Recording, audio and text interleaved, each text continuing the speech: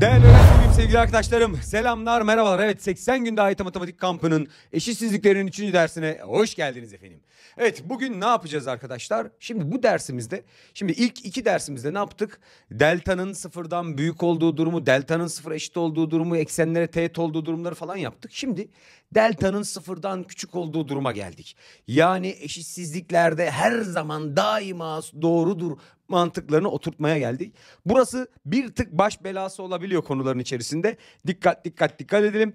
Sonra bir sonraki dersimizde de artık şimdiye kadarki yaptığımız verdiğimiz mantıkları güzelce birleştireceğiz. Çarpım veya bölüm durumundakilerin durumlarına geleceğiz. Şimdi şöyle bir bakalım arkadaşlar. Şöyle bir bakalım ne yapıyoruz? Eşitsizliklerin 3. ve 4. videosunu izledikten sonra hemen altın kitabımızdaki test bir ödevin olacak. Bunu güzelce çözeceksin. Olayı bitireceğiz. Anlaştık mı? Anlaştık mı? Hadi bakalım 80'in üstünde de 80 üstünde de ikinci dereceden eşitsizliklerin hop şurayı bitirdik. Kaçıncı günümüz? 18. günümüzü güzelce birlikte bitireceğiz. Hadi başlayalım şimdi. Geldik şimdi delta'nın sıfırdan küçük olduğu durumlara. Şimdi delta'nın sıfırdan küçük olduğu durumlarda bizim ikinci dereceden eşitsizliğimizin yani ikinci dereceden denklemimizin neyi yoktur? Kökü yoktur. Şimdi şurayı bir okuyalım. A eşit değil ve delta küçük sıfır olmak üzere bir eşitsizlik karşımıza çıktı. Şimdi bizim karşımıza ax kare artı bx artı c şeklinde bir denklem karşımıza geldiğinde eşit sıfır şeklinde bir denklem karşımıza geldiğinde bunun gerçek kökü yoksa deltası sıfırdan küçükse e şimdi bunun a'sına bakarız biz. Eğer bizim a'mız sıfırdan büyükse nasıl bir paraboldü arkadaşlar bu? A sıfırdan büyükse şöyle kolları hep yukarı doğru bir paraboldü. Eğer bizim a'mız sıfırdan küçükse onu da çizeyim. A'mız sıfırdan küçükse ve delta sıfırdan küçükse böyle kolları aşağı doğru bir paraboldü. Şimdi birinciye bir bakalım. Birinciye baktığım zaman her zaman toprağın üstünde olduğu zaman bunun sonuçları daima sıfırdan nedir? Büyüktür. E buna bakıyorum. Burada deltamız sıfırdan küçük. Bakın deltamız sıfırdan küçük çünkü x eksene değmiyor. A da sıfırdan küçük. Burada delta sıfırdan küçük, A sıfırdan büyük. Buraya baktığım zaman hep toprağın altında olduğu için bunun sonuçları her zaman ne olmuştur? Negatif olmuştur. Hocam bunun tablosunu nasıl yapacağız? Arkadaşlar bunun tablosunu yaparken biz tablo yaparken kök arıyorduk değil mi? X1, X2 gibi kök arıyorduk. Kökü var mı? Yok. O zaman tabloyu yaparken bakıyorum kök yok. Yapacak bir şey yok. Ne yapacağım? A'nın işareti. A'nın işareti bu durumda pozitif olduğu için bu her yerde nedir diyeceğim pozitiftir. Ama grafik yorumlaması bizim için önemli. Bu duruma geldim bakın. Kök yok. Kök yoksa tabloyu yapınca buraya çizgi çekecek bir şeyim yok. Köküm yok çünkü. A'nın işaretine bakacağım. Negatif olduğu için bu ifade her zaman ne olacak? Negatif olacak. İşte soruların içerisinde her x eleman R için sağlıyor. İşte daima daima sıfırdan büyük gibi kelimeler karşımıza geldiğinde hep sıfırdan büyük durumumuz nedir arkadaşlar? A'mız deltamız sıfırdan küçük ama A'mız sıfırdan büyük durumudur. Daima sıfırdan küçük derse bir fonksiyonu her zaman sıfırdan küçük derse ikinci dereceden bir fonksiyonu diyeceksin ki bunun deltası da sıfırdan küçük A'sı da sıfırdan küçüktür diyeceğiz. Gel bak şimdi bunu anlattım zaten yukarıda. Şimdi şöyle bir eşitlik geldi karşımıza. Bak mantığını güzelce kavrayalım. Hepsini bir tarafa toplayıp bir eşitsizliğe dönüştürelim önce. x kare artı 5x artı 10 oldu. Küçük sıfır. Şimdi bakıyorum çarpandan ayrılmıyor. Çarpandan ayrılmıyorsa hemen bunun deltasını hesaplıyorum. Deltası b kare. b karesi ne yaptı? 25. Eksi 4 a dediğimiz 1 c dediğimiz ne oldu? 10. Bakın c dediğimiz 10 deltamız eksi 15 geldi. He. Yani gerçek kökü yok. O zaman bunun tablosunu yaparken hiç köküm yok benim. Köküm yoksa buraya çizgi çekecek bir şey yok. Hemen A'nın işaretine bakıyorum pozitif. O zaman bu fonksiyonum her zaman neymiş? Pozitifmiş. E bizden sıfırdan küçük olduğu yerleri istiyor. E bu fonksiyon hep sıfırdan büyük. O zaman çözüm kümesi nedir diyorum? Boş kümedir diyorum. Ama hemen şunu düşünürsen arkadaşlar deltası sıfırdan küçük bir parabol çizdiğinizde delta sıfırdan küçük bir parabol çizdiğinde x eksene değmeyecek. Bakın isterseniz tepe noktasını bulun. R'miz Eksi 5 bölü 2 oldu. Bak R'nin eksi 5 bölü 2 olduğunu buldum burada. R'yi yerine yazdığınız zaman şöyle pozitif bir değer çıkacaktır burada. Bakın şöyle bir grafik oldu. Bu grafik hep x eksenin üstünde olduğu için hep pozitiftir. Yani x eksenin altına indiği bir yer olmadığı için sıfırdan küçüktür çözüm kümesi boş kümedir diyoruz. Gel bakalım şimdi 21. sorum. Eşitsizliğin çözüm kümesi aşağıdakilerden hangisidir diyor. Bakıyorum çarpanlığına ayrılmıyor. Hemen deltasını hesaplıyorum. B kare eksi 2'nin karesinden 4 geldi. Eksi 4 çarpı a'mız 1 c'miz 7 eksi 24'e eşit oldu deltamız. Aa, deltamız sıfırdan küçük. O zaman bunun tablosunu yaparken köküm yok. En büyük dereceli terimin işaretine bakıyorum artı. Bu fonksiyon hep artıymış. E bize de sıfırdan büyük olduğu yerleri soruyor. Demek ki bu bütün sayılarda sıfırdan büyükmüş. Çözüm kümesi bütün reel sayılar, bütün gerçel sayılarmış. İşte bunun grafiğini çizdiğinizde x eksenin üstünde şöyle bir grafiktir. Daima pozitiftir diyoruz. Gel bakalım. İşte baş belası olan durumlar buralar. Gel diyor ki eşitsizliği tüm x gerçel sayıları için sağlıyorsa m'nin en geniş aralığı. Bak diyor ki tüm x'ler için sıfırdan büyük kardeşim bu diyor. Şimdi bu soruyu nasıl yorumlayacağım? Diyeceksin ki hemen ya bu ikinci dereceden bir fonksiyondur. O zaman bunun grafiği nedir? Bir paraboldür diyeceğim. Bana hep sıfırdan büyük bir parabol istiyor. Bak hep sıfırdan büyük bir parabol çiz bana hadi. Büyük bir parabol. Yani her zaman x eksenin üstünde olan bir parabol. Böyle çizersen x eksenin altına da indiği yerler olduğu için olmaz. Böyle çizersen bakın ne oldu? Sıfır olduğu yerlerde oldu. Sıfıra eşitlik var mı? Yok. Olmaz. O zaman benim parabolüm böyle havalarda gezecek. Havalarda gezmesinin şartı neydi? Bir kere kökü olmayacak. Deltası sıfırdan küçük ve kollar yukarı doğru olacak. Bakıyorum A'sı zaten pozitif olduğu için kollar yukarı doğru A ile uğraşmayacağım. O zaman bu denklemin deltası sıfırdan küçüktür. Bu kadar. Yani tüm sayılar için sağlıyor, her zaman sağlıyor diye bir şey duyduğunda hemen grafiksel olarak düşün. Deltası sıfırdan küçük olacak onun. Hesaplayalım deltayı. Delta eşittir b kare. 6'nın karesinden 36 geldi. Eksi 4, a'mız 1, c'miz m eksi 3 oldu. Küçük olmalı sıfırdan. 36. Şuradaki eksi 4'ü içeri dağıttım. Eksi 4m artı 12 yaptı küçük sıfır. Salladım bu tarafa. 48'den büyükmüş 4m'im. Her iki tarafı 4'e böldüğüm zaman m dediğimiz 12'den büyükmüş. 12'den sonsuza kadar gidecek. 22. sorumuzun doğru cevabı B şıkkımız oldu. Gördün mü? Daima falan diyorsa bu. Diyor ki eşitsizliği daima doğru diyor. Her gerçel sayı için doğrudur budur. Yani bizden bu sefer sıfırdan küçük eşit ama her zaman doğrudur diyor. Hemen söyle şimdi bu. Kaçıncı dereceden bir fonksiyon bu? İkinci dereceden fonksiyon. Bunun grafiği nedir? Bir paraboldür. Hep grafiksel olarak düşün. Bana sıfırdan küçük veya eşit olan bir parabol çiz diyorsa daima x eksenine teğet eşitlik olduğu için teğet veya x eksenin altında böyle gezen bir parabol olacak. Sıfırdan daima küçük eşit. O zaman arkadaşlar bir kere kollar aşağı doğru olacak. Bakın x karenin katsayısı eksi olduğu için kollar aşağı doğru. Bunda sıkıntı yok. O zaman bu durum için bakın bu durum için deltam sıfırdan küçük olmalı. Bu durum için delta sıfıra eşit olmalı. Bak bu da sağlar, bu durumda sağlar, bu durumda sağlar. O zaman ne diyeceğim? Delta küçük sıfır demeyeceğim. Delta küçük veya eşittir sıfır. Çünkü buraya sıfıra eşit olabilir demiş. Yani x eksenine teğet olabilir demiş. O zaman deltayı hesapla. Delta eşittir b kare. b dediğimiz m eksi 1. m eksi 1'in karesi. Eksi 4. a dediğimiz eksi 1. Bakın a dediğimiz eksi 1. c dediğimizde eksi 9 bunun sıfırdan küçük veya eşit olması gerektiğini biliyorum. Hadi şurayı açalım. Açtığım zaman m kare eksi 2m artı 1 geldi. Şu eksi ile şu eksi artıya çevirsin. 4 ile eksi 9'u çarptım. Eksi 36 küçük eşit sıfır oldu. Ne oldu burası bak? m kare eksi 2m eksi 35 küçük veya eşit sıfır. Hemen çarpanlarını ayırıyorum. Burası m ile m'in çarpımı. Burası eksi 7 ile artı 5'in çarpımı. Ne oldu o zaman? m eksi 7 çarpı m artı 5 küçük eşit sıfır oldu. Şimdi bunu çözeceğim. O zaman buranın köklerinden bir tanesi 7 bir tanesi eksi 5. Şimdi buna tablo yapacağım.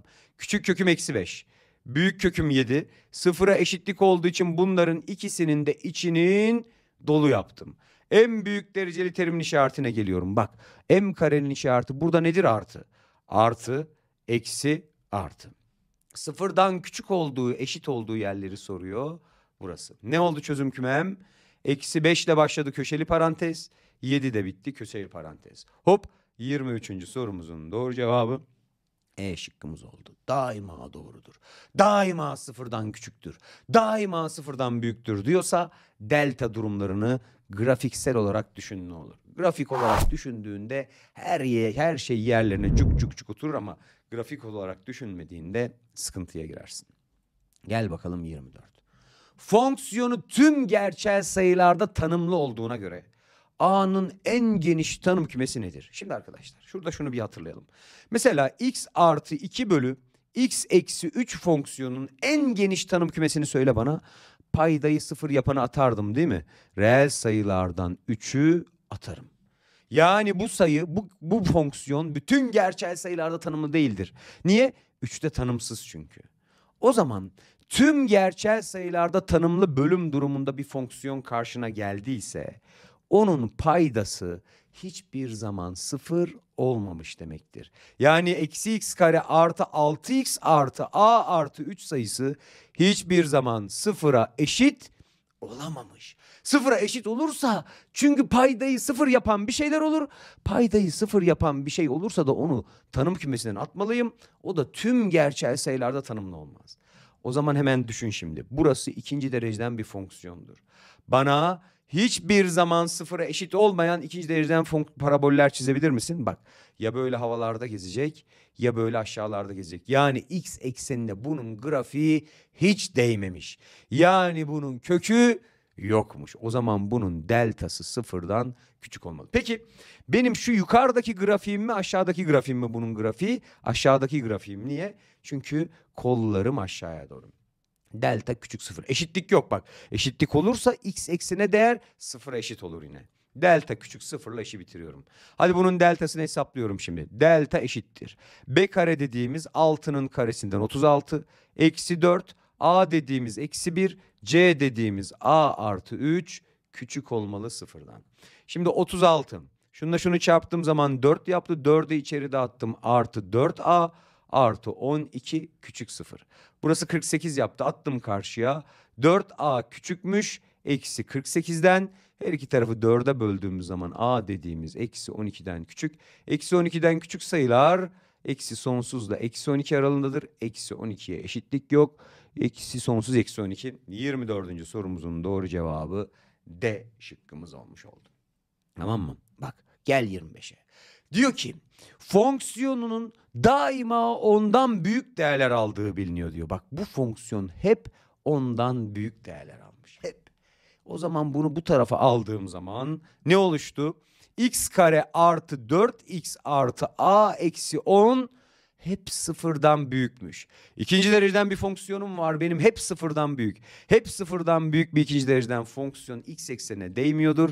Oluşan denklemin deltası sıfırdan küçüktür. Bak daima her zaman bütün gerçel sayılar kelimesi geldiğinde hemen fonksiyona bak ikinci dereceden fonksiyon delta ile ilişkilendir.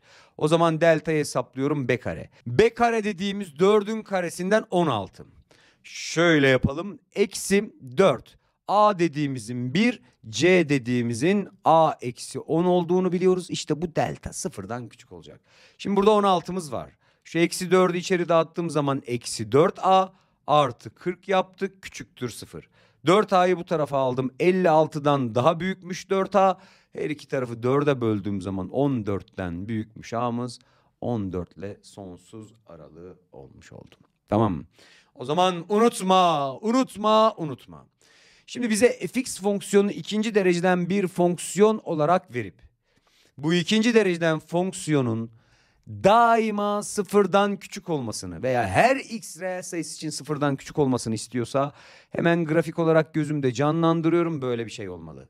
Yani deltası sıfırdan küçük olmalı. Neden delta sıfırdan küçük olmalı? Kökü yok. X eksene değmiyor. Ama kollar da aşağı doğru olması gerektiği için A da sıfırdan küçük.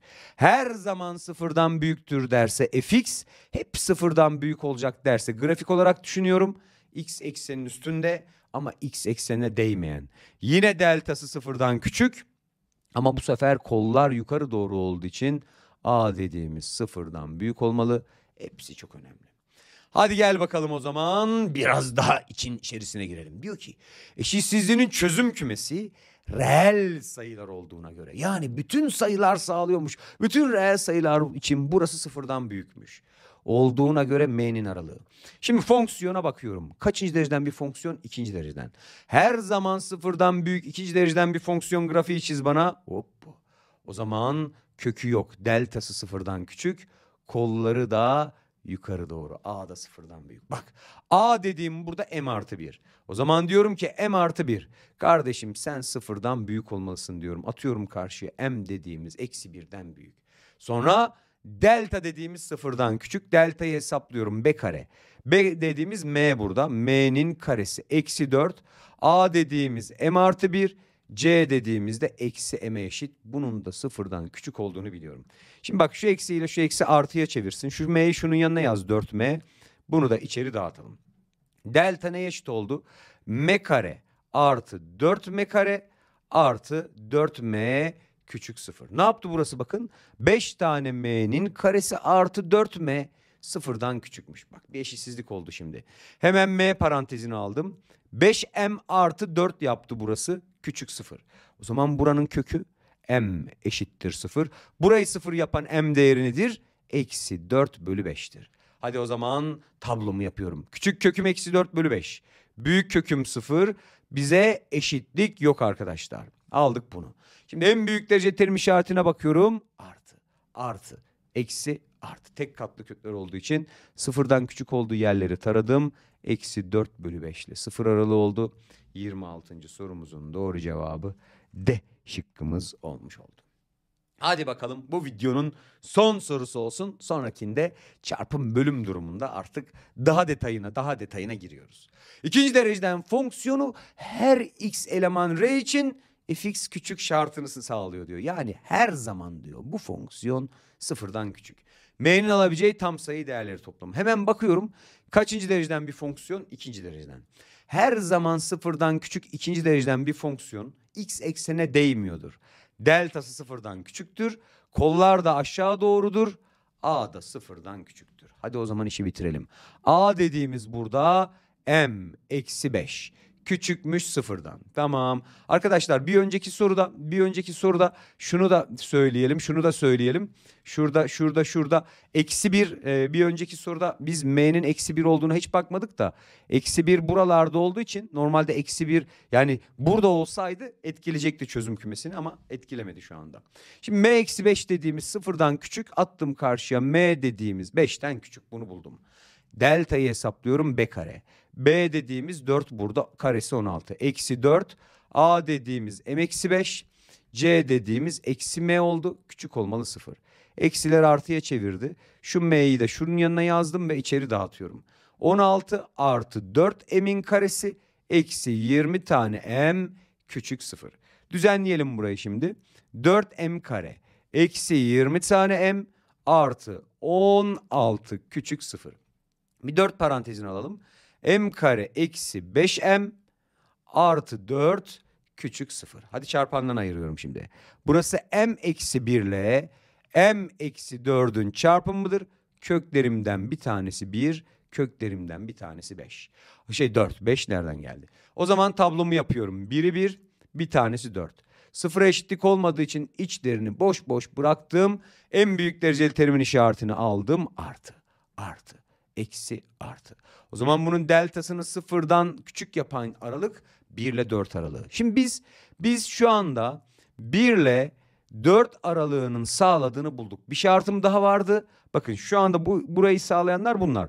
Buradaki şartım da diyor ki 5'ten küçük olsun emlerim diyor. İkisini sağlayan yer yine bu aralık olduğu için buraya alacağım. M'nin alabileceği tam sayı değerleri toplamı 2 ve 3 oldu. Toplamları da 5 yaptı. 27. sorumuzun doğru cevabı A şıkkımız oldu. daima sıfırdan küçüktür. Daima sıfırdan büyüktür. Her zaman doğrudur. Her zaman sağlar şeklindeki sorularda ikinci dereceden fonksiyonun varsa delta küçük sıfır baş katsayının işaretiyle birleştirip bu yorumları yapıyoruz. Önemli mantıklar arkadaşlar. Evet sonraki dersimizde çarpım bölüm durumundaki eşitsizliklere başlayacağız. Orada daha detayına gireceğiz. Yavaş yavaş yavaş yavaş eşitsizliklerin sonuna doğru giriyoruz efendim. Hadi bakalım kendinize iyi bakın. Görüşürüz bay bay.